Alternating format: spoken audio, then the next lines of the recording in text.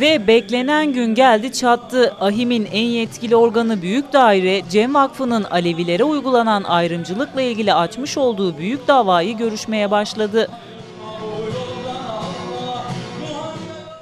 Tarihi duruşma yerel saatle 9.15'te başladı.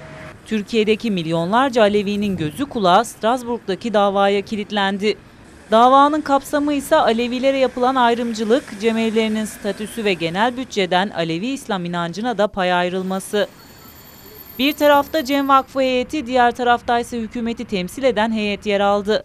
Ahim yargıçlarının da salondaki yerlerini almasıyla davanın görüşülmesine başlandı. Başyargıç kısa bir konuşma yaptı. İki tarafa savunma için söz verildi. İlk söz hükümetin avukatına verildi. Avukat Alevilerin taleplerinin karşılanması durumunda diğer inançlara mensup vatandaşların da aynı taleplerde bulunacağına dikkat çekti. Devletin bunu karşılayamayacağını söyledi. İşte hükümeti temsilen savunma yapan avukatın bu savunmasına karşılık Cem Vakfı heyeti tepki gösterdi. Devletin topladığı vergilerle hizmet verdiğine dikkat çekildi. Milyonlarca Alevi yurttaşında 10 yıllardır vergilerini eksiksiz ödediklerini hatırlattı. Cem Vakfı'nı temsilen Genel Başkan Yardımcısı Avukat Namık Sofuoğlu da savunma yaptı. Türkiye'deki milyonlarca Alevi yurttaşın ayrımcılığa uğradığını, Alevi İslam inancına mensup olan milyonlara hizmet edecek görevlilerin yetiştirilmesinde dahi devletin katkısı olmadığını söyledi. Hükümet heyeti ise buna karşılık Alevilerin kendi aralarında anlaşamadıklarını gerekçe gösterdi.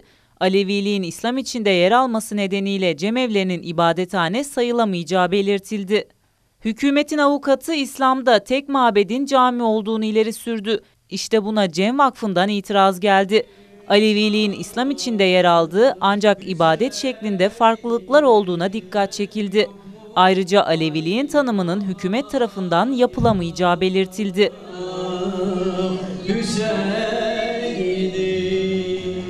Cemevlerini ibadethane olarak tanımlamayan Türk hükümeti avukatına bir tepki de Ahim'in İzlandalı yargıcından geldi.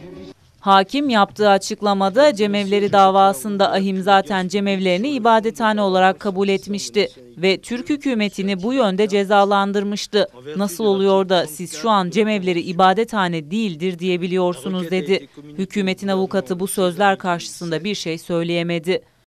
Cem Vakfı heyetinde yer alan insan hakları uzmanı İştar Aydın da bir konuşma yaptı.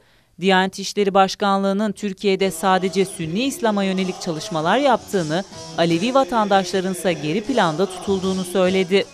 Zaten Lozan Anlaşması gereği Ermeni, Yahudi, Rumlar gibi azınlıkların ihtiyaçlarının hükümet tarafından karşılandığına dikkat çeken İştar Aydın, Diyanet Alevilerle ilgili farklı görüşte. Alevilere karşı tarafsız değiller. Alevilerin ibadet yeri cami değil, cemevidir ifadesini kullandı.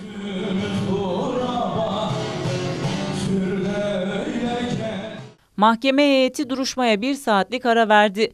Verilen aranın ardından başyargıç tekrar duruşmayı başlattı. Hazırlanan sorulara hükümetin yanıt vermesi için 14 günlük süre tanındığını söyledi.